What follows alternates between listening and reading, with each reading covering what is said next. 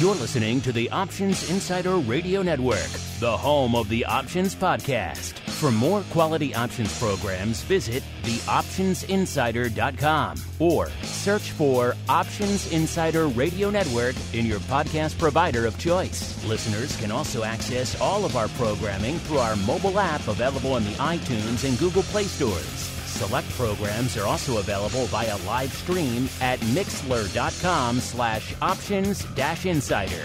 That's M-I-X-L-R dot com slash options dash insider. Don't forget to follow along with your favorite programs and submit your own questions for the hosts at twitter.com slash options, stocktwits.com slash options, facebook.com slash the options insider, or via questions at theoptionsinsider.com.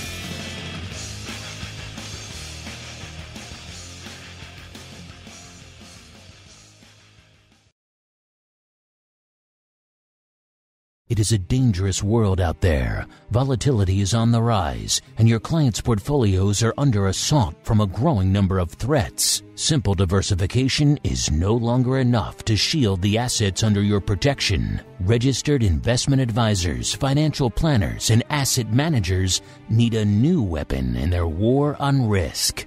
Welcome to the Advisor's Option, the program designed to arm busy advisors with the information necessary to properly manage risk in this volatile environment. From options education, trading strategies and tips, to industry news and interviews, you'll find it all on the Advisor's Option. The Advisor's Option is brought to you by the Options Industry Council. The OIC was created to educate investors and their financial advisors about the benefits and risks of exchange traded equity options. For more information on how the OIC can help you implement options in your practice, please visit optionseducation.org.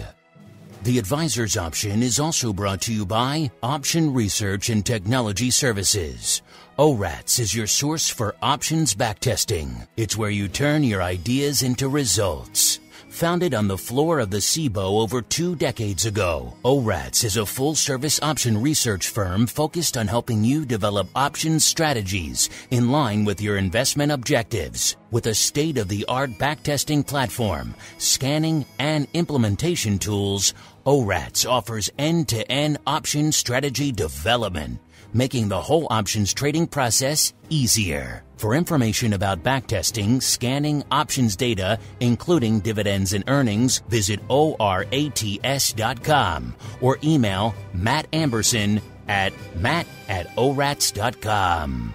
And now it's time to learn how to implement options in your practice. It's time for the, the advisor's, advisor's option. option. All right, everybody. That music means it is time once again for the Advisor's Option, the program here on the Options Insider Radio Network for you, the busy financial advisor or asset manager. Maybe you've been dipping those toes into the options waters. Maybe you're considering doing so. Maybe as a result of client demand and you're trying to figure out how those first few steps should go. Either way, we've got you covered here on the advisor's option. My name is Mark Longo from theoptionsinsider.com, as well as from the ever exciting Options Insider Radio Network. Reminded you again out there, there's a lot of interesting stuff, particularly for the folks on this audience on the pro side of the fence. Option Insider Pro has some very compelling content. It's been a very busy week on that front as well as double pro week. We had two, not just one, but two great pro Q and A's aimed at the volatility realm yesterday, of course, Euan Sinclair, noted volatility author, and then we had uh, Simon Ho, the creator of a number of volatility products, out there to talk about all different aspects of the volatility landscape. So if you haven't checked it out, head on over to theoptionsinsider.com. Slash pro is the place to go to learn all about that. And of course, wherever you listen live after the fact, keep hitting us up. Questions, comments, insights. We do love to hear from all of you out there. Let's see who we're hearing from on the program today. First, we're going back out to the quiet and tranquil shores of New Hampshire, where we are joined once again by the Oracle of New Hampshire himself, aka the founder of ORATS, aka Options Research and Technology Services, also known as Mr. Matt Amberson. Matt, welcome back to the Advisor's Options, sir. It is tranquil. It is beautiful. Summer is the time out here, but uh, Something tells me there's something new on the show today, or something something borrowed. old, something old that is new. Yes, Yes.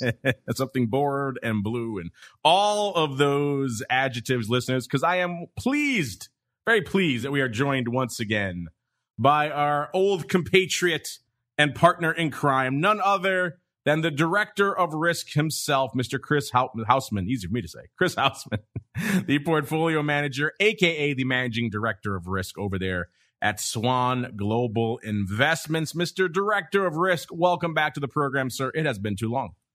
Well, thank you very much, guys. Great to be back. I feel like a bear that's been in a cave for six months. So you guys need to fill me in on what I missed. but doing this show is like riding a bike, right? After doing it for five years, It is. You fall off painfully at first, but then you get the hang of it again. Eh, just like options trading. Yes, just like option trading. You mentioned you haven't been on in a little while. It's been pretty much most uh, of 2021. I'm not sure if you've noticed, Chris, but a thing or two has happened in the market since the last time you joined us. So maybe let's start there. Catch us up. What's been lighting up your tape over the course of this mad, insane year that has been 2021, sir? Well, it's been an interesting year. I mean, the first quarter, and again, like you said, I haven't been here six months, so uh, pardon the the six month summary.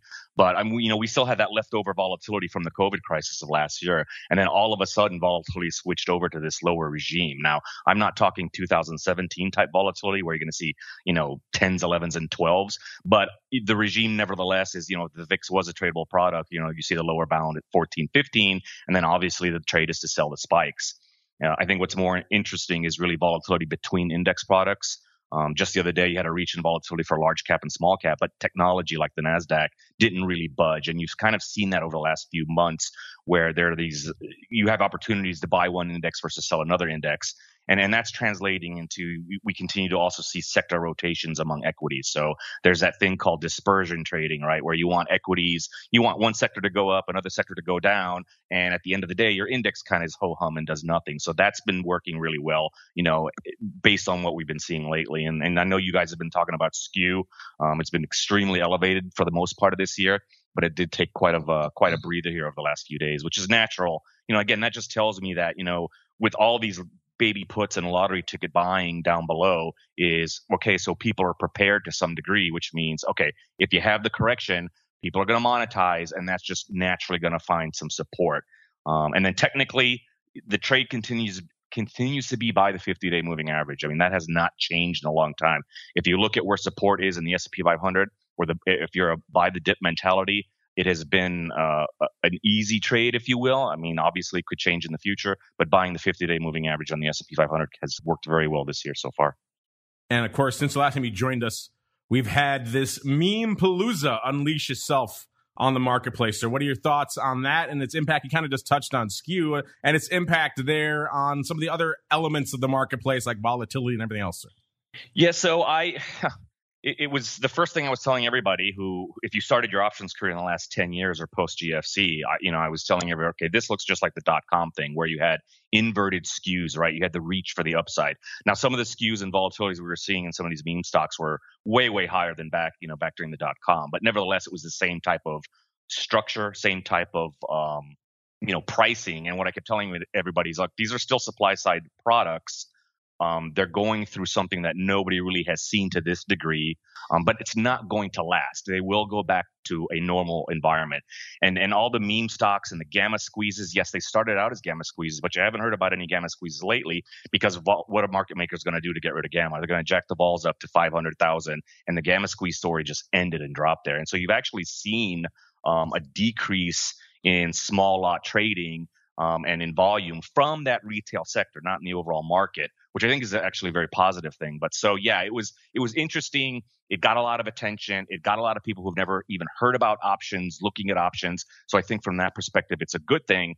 But you know, it's those volatilities in a supply side product cannot last forever. I've never seen them last forever. So they're very what's that T word? Transitory. Look at you throwing around the T words here. Well, Chris, buckle in. We got some new segments since the last time you joined us. Don't get thrown for a loop as we head right on into the P&L statement. What the heck happened in the options markets since our last episode? Let's find out with the P&L statement. All right, buddy. Welcome to the P&L statement. Chris has kind of caught us up on his previous six months. Uh, but of course, lots been happening since our last show. And indeed, even just in the past week or so, a lot's been lighting it up. So let's go back out to the shores of New Hampshire. Mr. Matt, we've seen uh, markets rallying, then we've seen some aggressive sell offs, and now apparently we're back in the rally phase. We've seen volatility usually eroding, eroding, and then spike right back up again to the somewhere in the mid 20s range, and then come right back down again. So we're in that kind of moment, Mr. Matt. What's been lighting up your tape out there since the last time we chatted on the advisor's option, sir? Well, it was so nice to hear Chris's perspective. Uh, we've definitely missed that. Uh, so the listeners have been treated to this epic uh, sh- show of the market. Um, you know what I look at, of course, is uh, you know the skew, how that's diverting uh, between the the SPY that's really steep. Uh, we did get a little bit of a reprieve, but it's it's still quite steep. The the puts are high compared to the calls, um, but you know we still see some of this residual of five delta versus 75. It's still in the market in the in the individual names. You know we have at ORATS this uh, component weighted uh, indexes, so we could see what the average is of the uh, 5 delta at 30 days, for example, and the 75 delta at 30 days. We do that.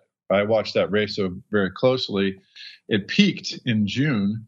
Uh, if, if, you could believe, uh, usually the 75 uh, delta is uh, of the calls is much higher than the 5 delta calls. Uh, but now, but it peaked at 11% higher. So the calls were actually higher than the puts in the individual names. And it's still, uh, you know, right now, uh, 1% higher. So it's, you know, it's right around uh, the vol of, of, the way out of money calls is, is, is equal to uh, the vol of the, the deep, uh, the deeper puts. So uh, still holding that kind of, uh, Robinhood effect. Uh, there's still, uh, you know, even though Chris pointed out some of the smaller trades are are waning a bit, the the, the market makers and the market out there is still valuing those out of the money calls quite high. Um, you know, I, I, did I did see some interesting behavior in this last kind of market downturn. Of course, it only lasts for one day, uh, you know, but and it's right back to where it was before. But in that one day, that that was a pretty uh, pretty good spike. Just what, looking at the uh, SPY implied volatility, you know, it was around 11, 12, and then it just it it, it popped up uh, to around 18 and a half. Um, that's a good move for for vol. And what I'm seeing is is I look at kind of an overall trend. So it's been uh, you know, coming down. Even the the the highs of of of the peaks that we've seen this year have been lower than the the, the past ones. But this last peak got up quite close to. Uh, it looks to me, if I had to say something, that we could have a interesting August from a seasonal standpoint. August tends to be this part of this calendar's higher volatility. So um, you know, we might see something in, in August. I've seen some some signs of life from a volatility perspective. Uh, so uh, you know, I, that's what's uh, that's what's lighting up my tape, Mark. And Mr. Chris, same question for you. Obviously, just in the past couple of weeks, we've seen a lot of back and forth in the marketplace. We saw, you know, nice rallies, new all time highs in the Qs and the S, and pick your poison out there. Then some chop, some red started making it in, and then we saw some aggressive red on the screen not too long ago. Coming into today's show, listeners were kind of coming back on the heels of that. Most of the major indices are back in the green. They rallied up about around one and a half percent yesterday, and today's session looks like most of about half a percent, if not more. So they've pretty much gained back most, if not all, of those losses from that aggressive sell off, the worst sell off we've seen pretty much since January out there across most of the broad space, and a lot of the vol coming crashing back down after rallying hard. We saw VIX cash get up to about a 22 half earlier this week on Monday and coming into today's show, it's at about 18 and a quarter. So pretty much shedding a lot of that juice that it had just gained back in over the course of the last few sessions. So Chris, a lot to unpack just in the last week, sir. What's been lighting up your tape out there from a valuation and a volatility perspective, sir? Yeah, I, I do agree. We're going to chop around here. So in the SPX 4400 to 4500, that's a very important level because that's basically a double of the COVID low. So it's 100% return. That's also a lot of price targets and measuring objectives. And this is another area where people are going to do a second take on valuation. So I, I don't think, I think it's going to take a lot to blow through this 4,400, 4,500 area, you know, to maybe ultimately one day reach 5,000. But uh, technically again we need to test 4000 4000 was a very important breakout to the upside so i don't know when that's going to happen but i do anticipate that we'll test 4000 in the spx at some point in time but in the short term meaning over the next four to six weeks i think there'll be more chopping around um, you know we'll, we'll have these stabs at 4400 and then we'll see what kind of support we'll uh, we'll create on the downside we shall see indeed, listeners, as we keep on rolling. It's that time of the year, listeners. We're kicking off a brand new cycle. So, what better way to do so than to dive right on into the earnings volatility report? Earnings announcements can move markets. But what is the options market telling us about upcoming earnings events? Let's find out with the Earnings Volatility Report. All right, everybody, welcome to the earnings volatility report. We've been saying for a while now this last cycle wasn't quite living up to expectations. I think it settled out around a 72, 74% in terms of bang for your buck. If you bought that basket, that proverbial basket of all the earnings announcements over the course of the last cycle, you got back about 70 odd cents on the dollar. So, not the best but we are kicking off a new season. In fact, we are right in the middle of it right now as we're recording this, listeners. We've seen a lot of big names popping off even this week. IBM, Netflix, United Airlines, Chipotle, Coke, J&J, interesting one there, AT&T, American Airlines, Southwest Airlines, Amex, Crocs, if you like your rubber shoes, you name it. That's just this week, Twitter listeners. So we are back in it yet again. So who better to turn to for analysis than the guy who's crunching all the numbers over there in the land of Orats. Mr. Matt, we're back in it. We're hot and heavy. What do you have for us these days, sir? What's lighting up your tape in the land of earnings volatility right now? So, just to start from the very top general, uh, you know, implied earnings moves are down a little bit. So that means uh, we have a chance to beat those. Uh, the first week of earnings season, we're in the second week of earnings season right now. It's usually about a six week run uh, every quarter. And uh, what we normally see, the first two weeks are pretty, uh, pretty light from a, a fireworks perspective, meaning the holders of straddles don't do real well. Uh, and that's the case. It's you know it's not as brutal and bloody as it's been. You know it's uh, 74% versus 81%. So they're losing 26% of your uh, straddle uh, profit there. Um, but uh, you know again we have those magical third, fourth, and fifth weeks, Mark. And can we get can we get some profitability into people's pockets who are owning these straddles? I don't know. I was on a I was on a call this morning with a uh, famous educator, and he does a lot of earning stuff. We were looking at the ORATS report. uh, American Express uh, is overvalued, and so we were looking at that one. Uh, and but a lot of these other ones are, you know, it's if you go down the list, it's pretty close to uh, prediction or the past earnings move is is right near the uh, the straddle. So uh, you know, I think we're we're fairly priced here.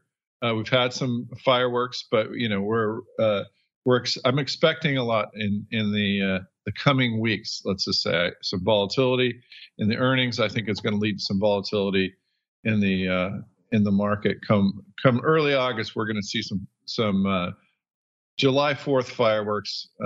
let's say August 4th.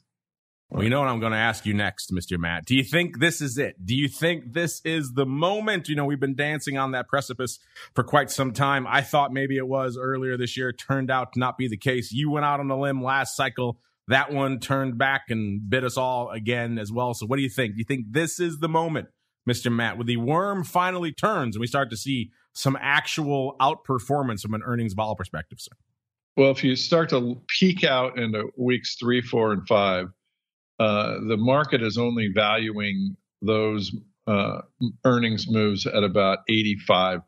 So um, they're already starting at a low number, meaning the straddles are are looking like they're going to be low. So I think that we're going to at least do some damage in weeks, let's just say four and five. And I think it's going to lead to some volatility in the market. So that, that's as much as I could do for you, Mark. I mean, you can only squeeze so much blood from a stone, right? And eventually the stone is dry. So right. I don't know if we're quite at that level yet, but we have to be perilously close at the very least. As we keep on rolling into our next segment, it is time to get the buzz. Busy financial advisors don't have time to follow the latest developments from the options market, so we do it for you. It's time to get the buzz.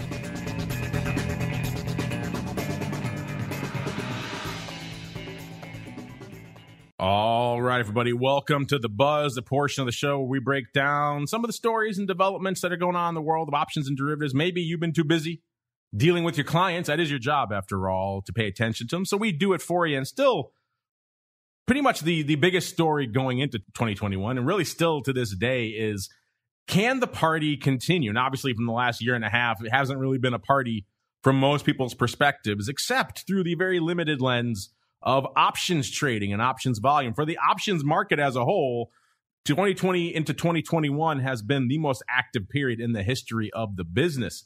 And so coming into this year, a lot of people thought maybe we'd see that tail off as we saw you know vaccines start to spread hopefully the the rise and spread of the covid start to mitigate and people going back to work and things like that maybe that would start to taper off some of the volume so there was a close eye a lot of close eyes really on the volume numbers for this year. And so far the year came out just roared out of the gate with a bang. Q1 was the busiest q1 in the history of the business. Every single month was pretty much a new record month.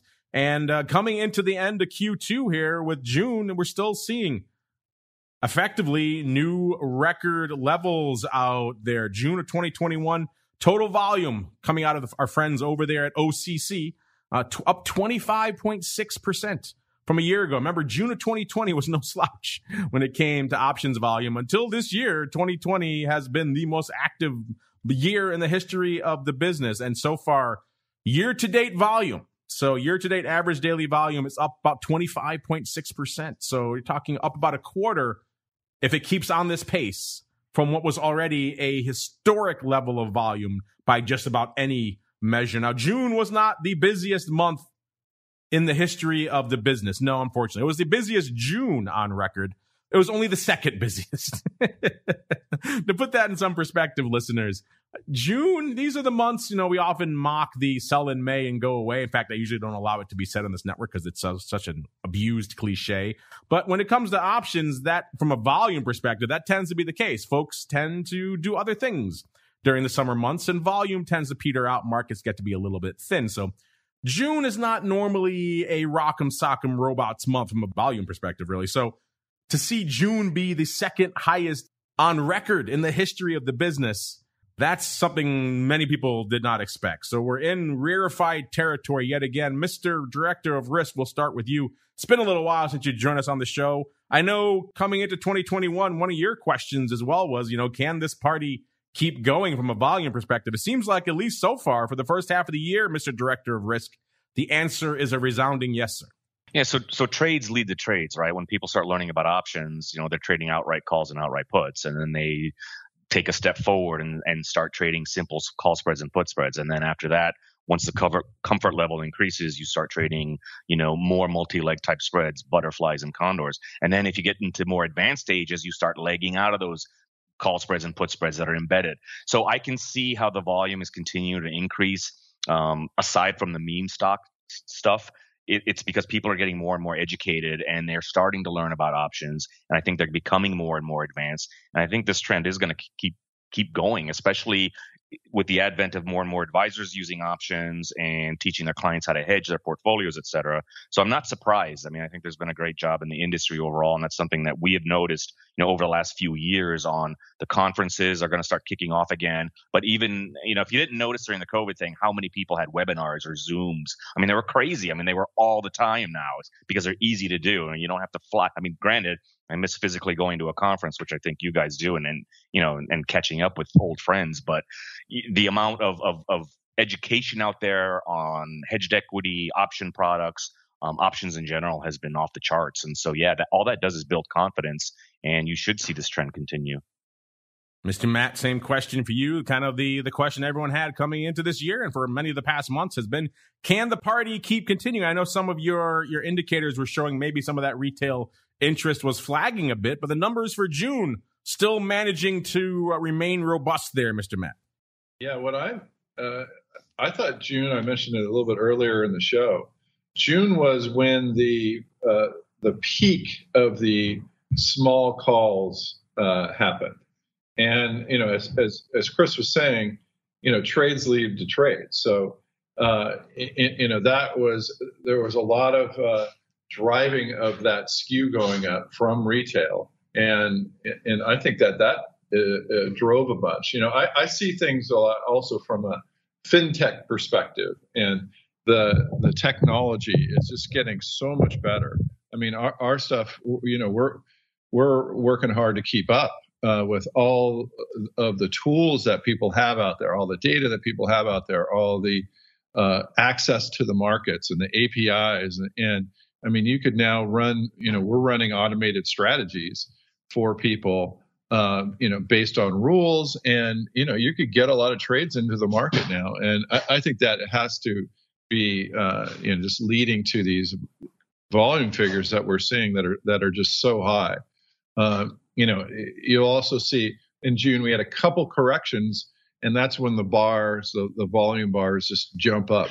Those those corrections, everyone's jumping in to to hedge or chase or or or, or whatever.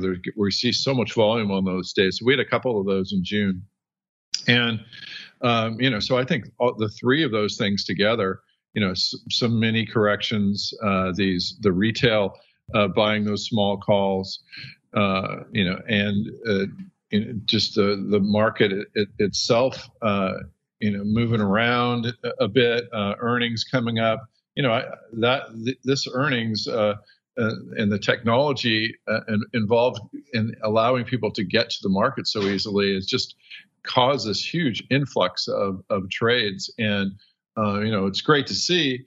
Uh, and you know we're we're definitely uh, seeing upticks just in web visits and, and searches. So uh, you know all across the options spectrum, uh, you know you're seeing more interest. Mark does appear to be the case. You can't argue with the numbers there, and they are robust yet again for June. As we keep on rolling into our next segment, it's time to get educational. It is time for Options 101. It's time to learn how to manage risk and generate additional income for your clients. It's time for Options 101.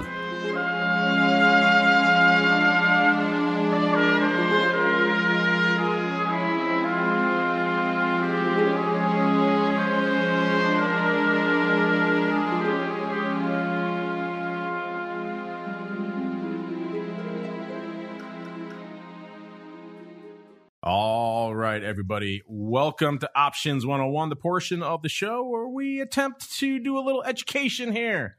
Try to hold your hand through some basic and sometimes a little bit more advanced options concepts, explain how you can utilize them in your clients' portfolios. Today's Options 101, inspired by a listener question. This came in from Aljo. Aljo says, Thank you very much for producing the advisor's option. Well, you're welcome, Aljo. So this show really makes my month when it comes out. I have a question for the show. What does the Oracle of New Hampshire? Oh, Matt, this is uh, up your alley. This is for you here. What does the Oracle of New Hampshire think about using ratio one by two put spreads to hedge SPY right now? Maybe short one, two to five percent out of the money put, then buying two, eight to ten percent out of the money puts against it. Do you like that as a protective strategy? Also, how far out can you reasonably use that strategy? It would seem like the value of the extra put diminishes as you go farther out in time. So I'm thinking somewhere in the one to two month range, maybe three months at the outside. Thanks again. You guys are the best. Well, great question. You guys are the best, really, out there, listeners who send in such great questions. So it seemed like, given that question, some of the other ones we've been receiving of late, it might be a good time to revisit this topic in general, the concept of ratio spreads. We have done them in the past. Go dig into the archives, listeners. But it's been a while. It's been nearly two years since we've really kind of touched on this topic. And markets have moved a wee bit since then. Uh, we are at some pretty lofty valuations out there right now. So people understandably are looking for ways to generate some aggressive protection and maybe doing so without having to pay a ton for it. And that's where the ratio put spread really comes in. So let's do a basic example, then I'll get each of your thoughts on the put spreads, and then we'll kind of go a little deeper into what Aljo is asking about some specifics here. Uh, so, listeners, if you're not familiar with what we're talking about here, you know, let's go back to everyone's favorite. Let's go back to XYZ. Trading at $100 right now. You have a client who has some, maybe they're a little bit concerned about some near term downside, but they don't want to liquidate the position. Maybe they have tax reasons. Maybe there's, they still think there could be some upside as well. Whatever reason, they don't want to sell. So now you have some options, pun intended. You can go out and hedge it. In our example, the one month 95 strike put is trading for a dollar. You could certainly go and buy that and you have protection for a month. You're going to be stopped out effectively. Your break even there is at $94. So you, that's where you're stopped out. And then, of course, you're paying effectively 1% of the cost of your position or the value of your position to protect it for a month. You know, that could be seen as a lot. So it's up to you whether you think that's worth it or not. Now, another way you could go, in our example, the 90 strike put is trading for 50 cents. So now we could do kind of what Aljo was asking about. Instead of just buying the 95 put, maybe you're concerned about a little bit more aggressive of a sell off than just kind of drifting down to 95, maybe blowing through the 90 handle, maybe down to like an 85 or so.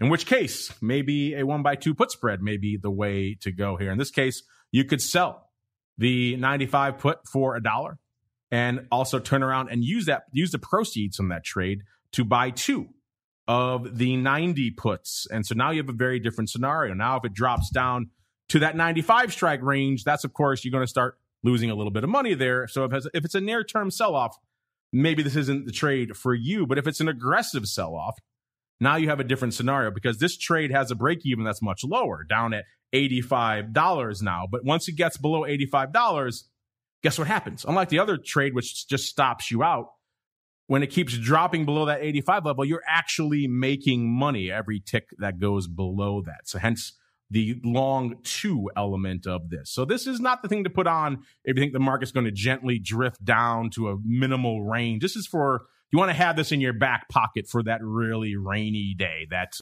maybe not a black swan, but pretty aggressive sell off to the downside. So that's just a very basic very straightforward example of what a ratio spread is. Let's go around the horn, gets everyone's general thoughts, and we'll get into some more specifics. Maybe Mr. Director of Risk, we'll start with you. What are your overall thoughts on the short one, long two, or any kind of ratio put spread there? Do you like them, and what are your general use cases for them?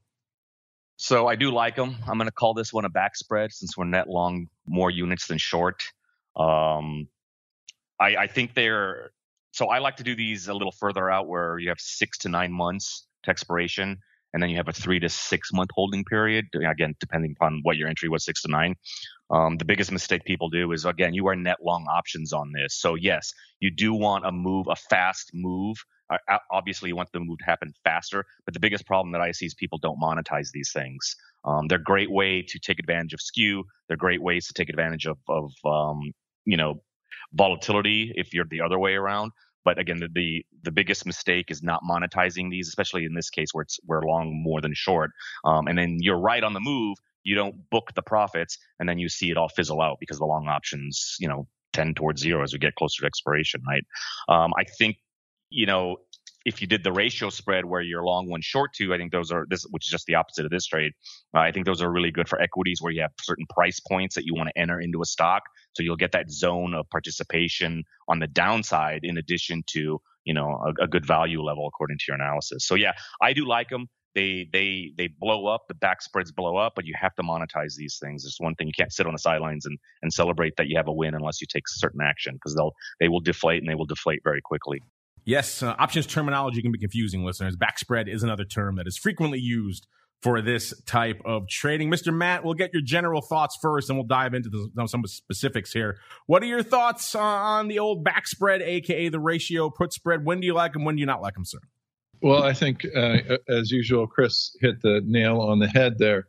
Um, for shorter term, I do not like them at all. As a matter of fact, one of the best uh, strategies that we backtest is the the opposite of that is um, the the ratio buying one selling selling two. Um, so um, you know you have to do it longer longer term as as chris pointed out in order for it to really uh, add. Uh, it, you know there's a lot of people want to be in the market but they don't they, they see these lofty levels uh, I've been looking at, you know, just to digress for a second, you know, something like a uh, a call calendar. So it's not that expensive, especially if fall pretty low. And if the market drifts up, you get some benefit. And if it goes down, you don't lose that much. Now, the, one of the problems with this strategy is it's often about a three to one um, ratio of, that you could lose. If it, if it ends at you know what, what this looks like is like a little triangle under underneath uh, break even for you. So that is you know usually like in this case you could lose you know you're putting it on for even you could lose five bucks on it you know if it drifts if the market drifts down. So uh you know this is and i and i've uh i've put a few of these on um and it just they, they always end up going right where I don't want them to go. so I, I, might have a little bit of bias there, but um, yeah, I, I, for the most part, I, I'm I, I, don't like these these trades for the reasons that it's a great question from Aljo, by the way. Um, but this is not the, the way I'd like to go. The the way I like to go is way out of the money, longer term puts um, you could you could over hedge them, meaning you could buy more than uh, you really need for for your stock because they're going to be so far out of the money. Like you th- think five delta, think one year or more. Um, those are the ones that really blow up, and especially if you're putting them on now when, when volatility is re- relatively low. Um, and then you could also have some type, you know, because Aljo wants to have some type of a of a short uh, option in there. Then you could put a short put spread something like that that will uh, you know help you with your your uh, your theta. You're not going to have uh, you know hopefully at these lower vol levels you're not going to have uh, too much uh, you know vega exposure. So I mean you have exposure, but you, you, kind of you might want it at this point. So that's why I like to if if, if you want to be in the market. Get go those you know check out some of the, of the back tests, but those those those farther out small uh, small delta puts, over hedge them, and then maybe put some income in there when the market's kind of quiet, like it is, you know, relatively uh, been over the last few weeks. Um, you know, then you can you, you, could generate some income while still having a, a you know a bunch of protection. Doesn't look like it because it's so far out of the money, but those things really blow up when the market turns against you, Mark.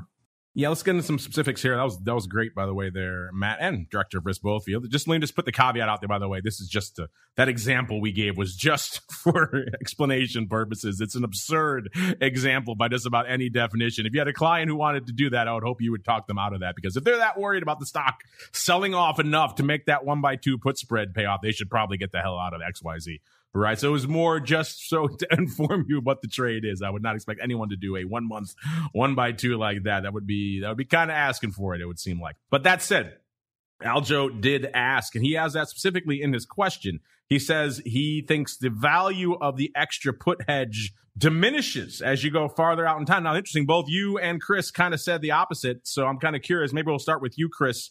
Aljo asks, he says he thinks the extra put hedge diminishes as you go farther out in time. I'm thinking somewhere in the one to two month range, maybe three months at the outset. Chris, you kind of said the opposite. So let's start there. Why do you like the one by twos much farther out? I think you said in the uh, six to nine months range, somewhere in that range. Well, you're going to lose the value of those long, that long. Uh, at the end of the day, you're short a put spread and then long a put.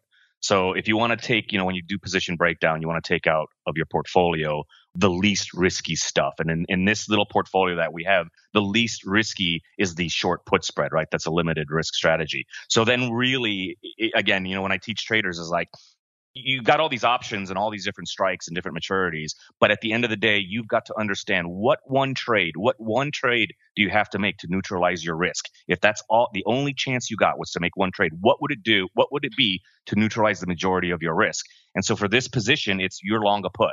So what do you need to do to neutralize as much risk? You can't, you're not going to neutralize all the risk, but what do you need to do to neutralize as much risk as possible? And it's really worrying about that put. And what general rule do we have when you're long options? Well, you don't want to buy front month options. You don't want to buy stuff that's decaying on you. And that's the reason I tend to like to do these things with a little bit more time, hoping that I'm right, that the, the event will happen sooner rather than later. And then I don't have to contend with the decay of that long extra option. And the lower delta of the longer out of the money kind of option that doesn't bother you? The lower delta doesn't. I, again, this is where you know, this is where other analysis is going to have to come in. I, I'm not worried about the lower delta stuff.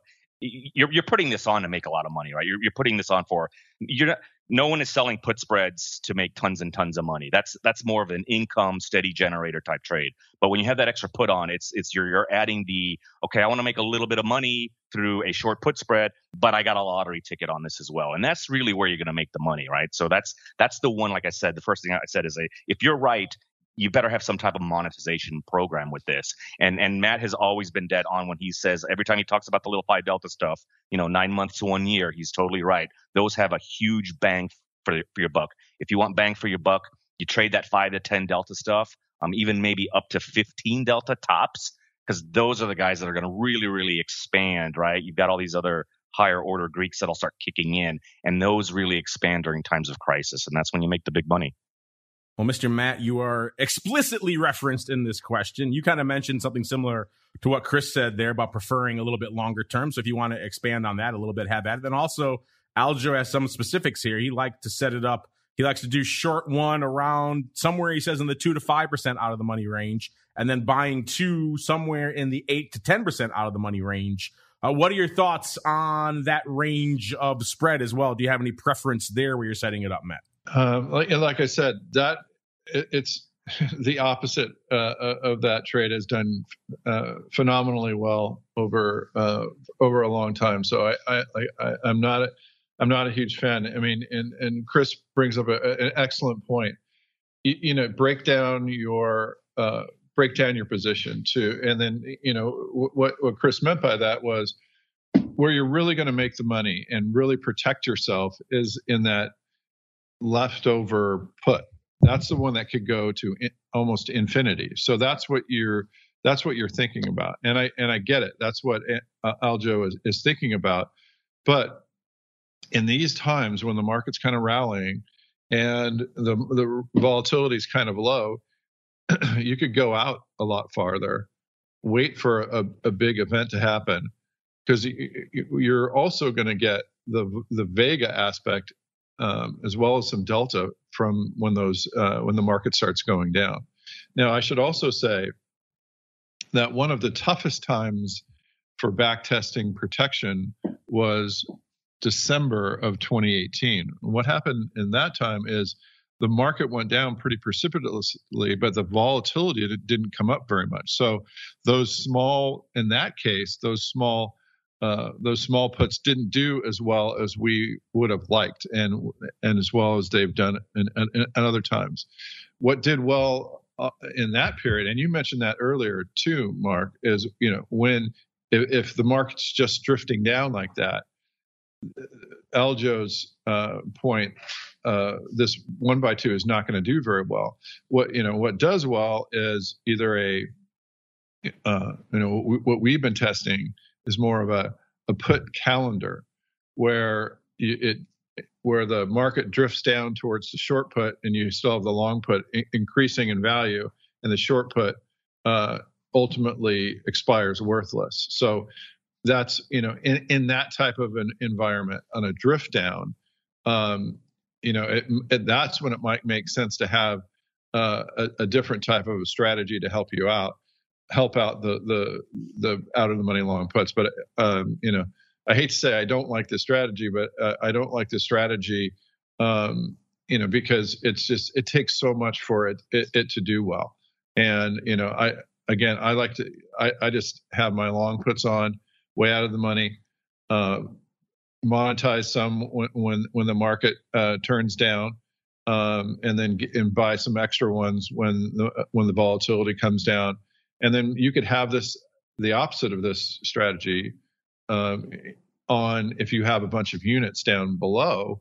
This is actually uh, you know the the they call the the one by two where you're long a, a one by two back spread that when you're short a one by two ratio. So it's uh, just to get the the, um, the way you talk about it down is you know when you have the ratio on when you're short a put you have to have some un- underneath. But those are that's actually a pretty good strategy to do uh, you know, when the markets, uh, you know, just in in almost anything except for uh, for a steep sell-off. So, so um, you know, I, I, think it's a great question, but uh, and he's you know he's he's really thinking about where to do it and, and all that. But unfortunately, in in practice in back tests it just uh, th- this is not strategy that you want to do to to get those uh, results that he's thinking about mark well, great question there, Aljo. Maybe some some food for thought there on your question. And since you guys are doing so great with the questions, let's keep it rolling right on into our office hours. It's time to answer your pressing questions about options. It's time to start our office hours. You can become a part of this segment by leaving a question on theoptionsinsider.com, emailing us at questions at the theoptionsinsider.com, or via social media at twitter.com slash options, facebook.com slash the options insider, or stocktwits.com slash options insider. All right, everybody. Welcome to the office hours. See how many more you guys are so patient, always sending in such great questions, waiting patiently for your answers. Let's get to some new listeners here joining us as well, which is always fun. First off, we got Mike S. He says, Hello, great program. Glad, so glad that I found it. Well, welcome. Welcome to the show, Mike. You have a lot of a lot of great back episodes to enjoy there. You know, he has a question that is kind of uh, kind of the go-to question for a lot of advisors out there and maybe maybe the wrong question. Maybe we'll get to that in a second. He says what would you say is a realistic allocation to options in a traditional 60-40 portfolio right now? Is 5% too much? Thanks again. Looking forward to digging into the archives of this program. Well mike i again so glad you discovered the show enjoy those archives i think you're going to hear some interesting takes on this exact question in said archives. But the reason why I say that maybe it's the wrong questions, this is something we touched on many times on the show in the past. You know, the notion that there is this allocation for options. People often think of it, they think of options and they kind of, I've said it before on the show, they kind of throw it into the alts ghetto with everything else, oh, managed futures and all these other things that don't go together. It's all in the alts, your oil well exposure, whatever the heck it is. That's all in your alts. And that should be a your 5% allocation, right? But in reality, as we talked about on the show many times, you can use options for many more things. They don't need to be just your alts allocation. They could be, for example, your long equity allocation could be through stock substitution using options, or could be maybe using some short puts to expect and try to get some long equity positions and you could have covered calls against your long equity. So the notion that 5% is too much, I'd say 5% is nowhere near enough. You need you need to really use options. 5% is not going to generate the returns that you want, the, the, you know, the incremental gains that you need to make them worthwhile to your clients. So yeah, you need to really rethink the entire use case of options, which is why I say maybe that question is not exactly the right one, but a good one to discuss here on the show. Mr. Director of Risk, we'll start with you on this one. This is kind of the fundamental question, right? This is one of the reasons why this show was created to address this topic. So what do you have to say to Mike and everyone else out there who's wondering, hey, you know, is 5%, is that a sufficient allocation to get my options ball rolling, sir? Well, you're right about your show here, and you've done a great job over the years. So I'll I'll I'll answer this very top level. I don't think an allocation, a five percent allocation to any asset class, is too much. Okay, so that's a very broad answer.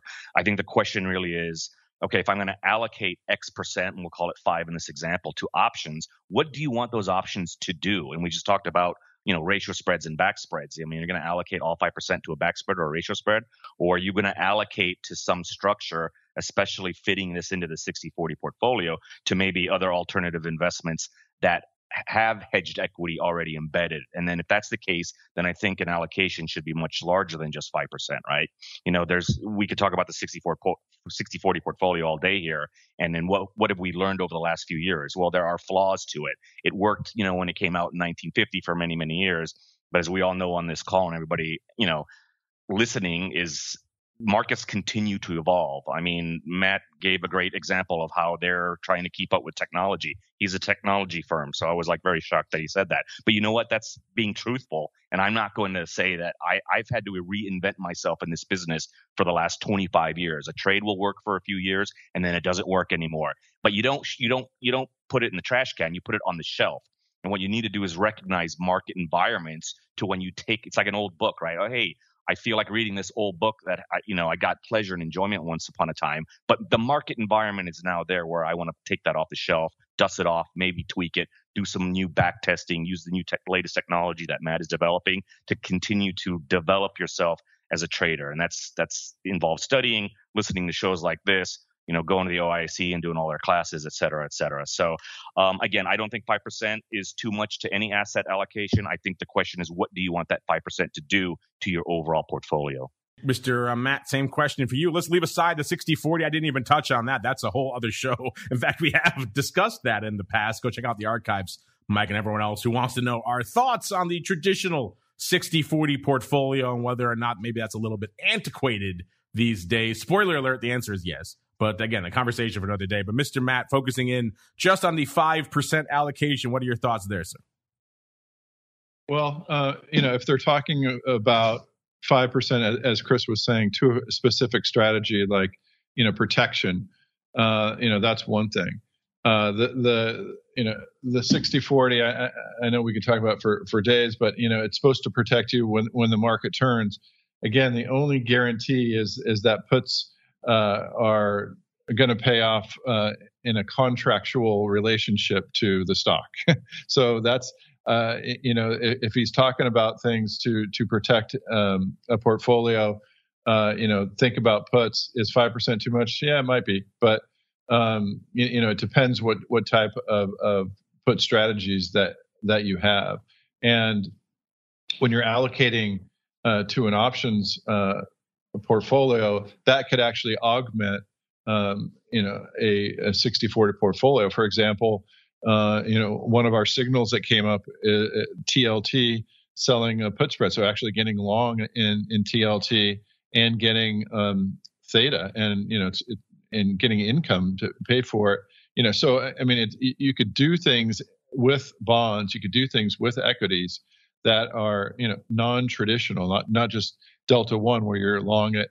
Um, you know, you could have uh, uh, you could have theta decay working in your favor, getting income uh, if there's not much volatility. You could have protection on both of them. You could even protect your bond uh, portfolio with with puts uh, as well. We we we have some back tests on that. So there's there's a lot more to think about than just you know five percent. What is what is that? Like it, you know it, it could be a protection, it could be income. There's and and I would actually say it should be a lot more than that. You could with your options you could set how you want the payoff pictures to look. And so uh, you know as as investors become uh, much more uh, qualified to use these options, um, we're seeing a lot more people use them to get the returns that they're desiring more. Yeah, great question. Again, we could probably spend, and we have spent many episodes discussing these various aspects in the past. Uh, check out the archives. I'm glad to see you're going to do that, Mike. Yes, but yeah, I think we're all on board with that. Five percent is is is just barely dipping your toes into the water. Is what we're talking about here. It needs a lot more to really really make options have an impact on your portfolio and also kind of to to utilize them in the proper way. So yeah, five percent not going to get the ball rolling for. Next up, we got some related questions. I guess we'll kind of bunch these together. First off, we have Mateus. Mateus says, "Have you thought about an episode explaining how advisors can implement these options techniques using utilizing crypto options, uh, the pros and cons, tips and tricks, how these strategies work or don't work in crypto, etc." Then we have a Looks like a related question here from I like this handle, Bob Dang. Thanks for the pro content. Oh, a new a new pro member. Well, welcome to the family there. Bob Dang says, thanks for the pro content. Really finding it useful. Well, thank you. A question for you. Do you think that it is smart to include crypto options in your portfolio, or would you wait until it is a little more widespread? If I were to start using it, what crypto would you suggest that I begin with? How do I begin to find an advisor who I can trust that understands it? Ooh, there's a lot of a lot of layers to that onion there as well. Mr.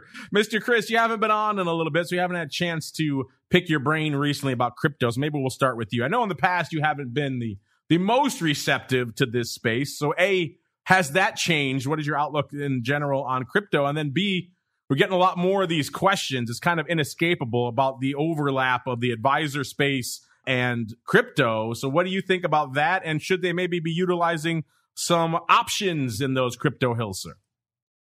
So I think crypto, for the most part, is in its initial stages. Um, it's the a lot of the trading is not regulated like we're used to with stock, fixed income, and and the derivative and options exchanges that we have here. So we've also learned that a lot of the underlyings, aka the individual cryptos, may or may not necessarily have some type of value or backing or whatever you want to call it behind that. So that in and of itself is a risk. So I think someone who is going to be trading derivatives on crypto has to do double the homework. Now, specifically with the option pricing that I've seen in some of the cryptos and some of the option exchanges that are kind of out there, um, there is a tremendous amount of volatility of volatility in crypto. Obviously, you've got uh, cryptos moving 5, 10, 20% in a very short period of time. So that's very difficult to implement spreads, call spreads, put spreads, uh, you know, butterflies, condors, you're just not going to see the expansion with that kind of volatility. That's one of the problems with trading those kind of spreads or those kind of strategies and say, even in the VIX, you know, people think they're going to get this expansion and they really don't because the volatilities are so high. So you have to be careful about trading the volatility, volatility. Um, I have no comment on any specific crypto. I'm trying, I mean, yes, you're right. I, I was, I was anti last year. I started looking at it. I think for me as a as a technical analysis guy, I think cryptos trade very technically um, because there's nothing there. There's no fundamentals really, right? They they're trading off of off of pictures, and so if you're a technical analyst, I, I think yeah, you should probably give crypto a look see, um, but make sure you have some good risk management rules behind that. You're not the first person I've talked to who has been very impressed with how technicals tend to apply in the land of crypto. It's uh, it's an interesting space from that perspective as well. Matt, I know you've had your kind of back and forth, your dalliances with the crypto space as well. You were an early adopter out there these days, maybe a little bit more reticent. Uh, what are your thoughts here from Mateus and Bob Dang about the the Venn diagrams of crypto and advisors and also the layer of options, what role they should play in there, sir? Well, I do think that uh, investors should consider a percentage of their uh, assets uh, for crypto. Uh, there are some some uh, good benefits of that. Um, you know, if something were to happen to the fiat underlying currencies, uh, if you needed to travel quickly, um, and just the you know amount of interest that that that we're starting to see or or have continued to see, especially in uh, you know if Apple. Uh, with all the cash they have, starts to buy some crypto. Um, that could be pretty crazy. But then you have the uh, opposite side where Yellen is talking about more regulations for these pegged uh, cryptos like uh, Tether and stuff that uh, they think there's some shenanigans going on with um, you know multiple liquidity for uh, crypto for for Bitcoin and such. But you know there is a the uh, uh underlying market, the the option market, and LedgerX. Um, you know there's there there are decent markets out there, decent o- open interest, and um, you know we're looking at the skew, and we're um, you know ORATS is going to be you know when we start getting more data we'll we'll start uh, you know dipping our toe into uh, in, in, in, into those uh, those lands you had Simon Aho on, and he's uh, he's doing a lot with with crypto and, and, volatility. So there's a you know a lot more adoption, and you know people should should start seriously looking at it. You know, um, there's you know once you once you own crypto, there's uh, you know so much volatility there. Uh, you can do some strategies. There are some uh, opportunities to, depending on you know your positioning and, in your outlook. So there's a there's quite a few things that you can do. Uh, and I, I, think there's also some interesting correlations going on. Uh, you know, you talk about 60 40. Well, you've also got crypto to throw in there too. So, um, you know, I, I, it's especially interesting for me now that that there are options underlying um, crypto. Um, you're, you're right. I've been involved for for for many years. Uh, kind of ambivalent, but you know, uh, involved. And so, um, you know, I, I, do think it's going to be a part, and I, I think uh, conversations that we're going to be having in the in the upcoming years, um, you know, it's just going to be a, given that people are, are uh, advisors are going to be able to talk about uh, crypto and and you know, it's it's uh, Ethereum and and Bitcoin are the ones that trade uh, options. So you know, those are those are more more the go to ones for um, for the questions that Bob Dang and Mateus has asked. Mark.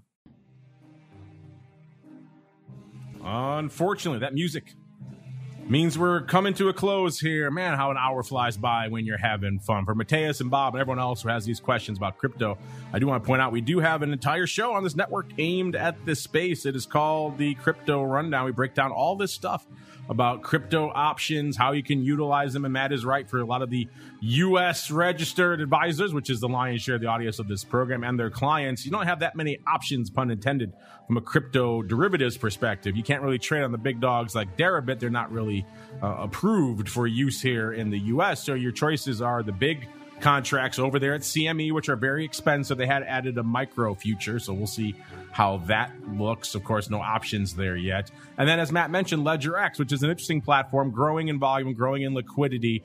They were on our crypto rundown program not too long ago. I encourage you to check that out as well, that episode. And they mentioned it's still for them because it's a physically settled contract. The lion's share of their volume is still mostly on the covered call side. Folks looking to get a little bit of income, a little bit of yield out of their Bitcoin holdings, and some protective put. So that's your use case. That is a good platform for you. They're still looking to increase and broaden that use case and broaden that liquidity. And over time, I do expect that to happen. So keep an eye on that. So good stuff there, Mateus and Bob Dang, and everyone else who wrote in with questions. Aljo, we want to thank all of you out there for downloading, streaming, and subscribing, for listening live, for sending in those questions, everything else that you do.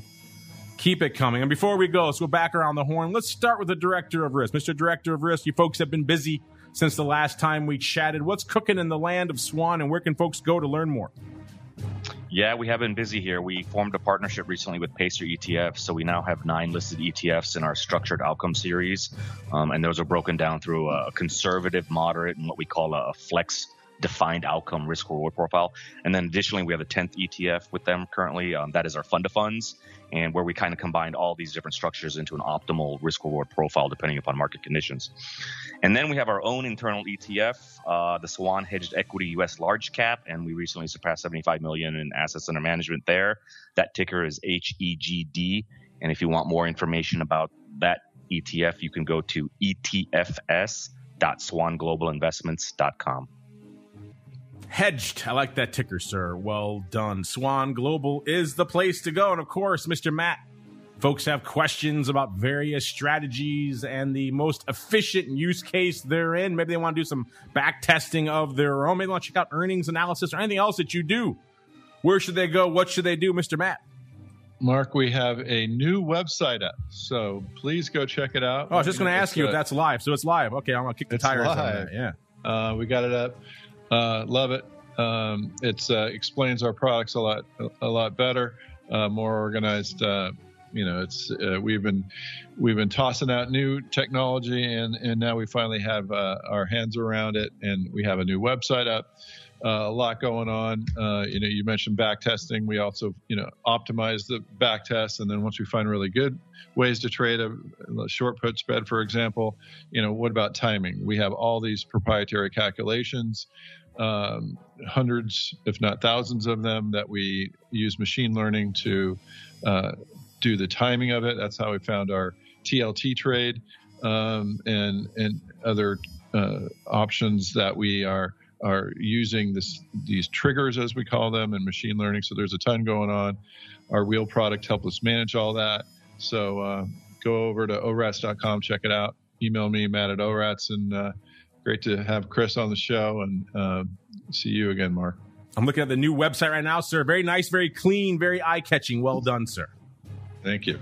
Check it out for yourselves, listeners. Orats, O R A T S dot com is the place to go. And you know where to go for more information on the volume we were talking about earlier in the show. A lot of great education as well. It's optionseducation.org. That's the home of our friends over there the Options Industry Council. They have great stuff there for advisors as well. Let's click on the advisors tab and you're off to the races with studies and analysis and all sorts of other fun stuff that you could use to arm yourself when you're talking to your clients about these crazy things called options. And on behalf of myself and the director of risk and Mr. Matt, everybody over there in the land of OIC, I want to again, thank all of you out there for downloading, streaming, subscribing, for listening live. If you're listening live, stay tuned. It's double pro week this week, listeners. So you're getting a double dose later on today of OPR, including a very rare live appearance of Mr. Mr. Mr. almost called Matt of Mr. Overby there, aka the options guy, going to answer your questions live, live huddle little bit later today around 4 p.m. Central. So stay tuned for that as well. And of course, all the rest of our programs on the docket for the rest of this week. Then we're coming on up. Hard to believe it's already almost August. That means it's another month and time soon for another episode of The Advisor's Option.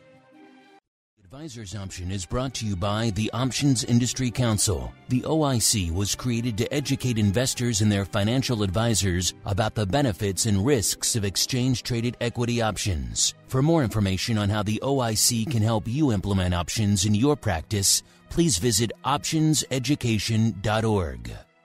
The Advisor's Option is also brought to you by Option Research and Technology Services. ORATS is your source for options backtesting. It's where you turn your ideas into results. Founded on the floor of the CBOE over two decades ago, ORATS is a full service option research firm focused on helping you develop options strategies in line with your investment objectives. With a state of the art backtesting platform, scanning, and implementation tools, ORATS offers end to end option strategy development making the whole options trading process easier. For information about backtesting, scanning options data, including dividends and earnings, visit orats.com or email Matt Amberson at matt at orats.com.